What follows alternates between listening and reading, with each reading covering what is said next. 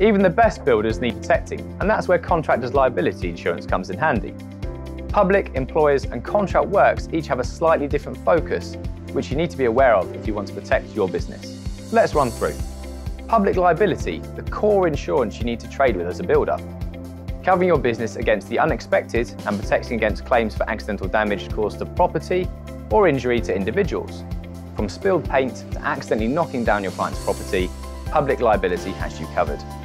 But it won't cover any damage caused from faulty or bad workmanship. Limits range from 1 to 10 million to suit your business needs. Don't forget to add all manual employees to your policy, even labour-only subcontractors you have working under your control. Visit the FMB Insurance website to find out more about our additional covers.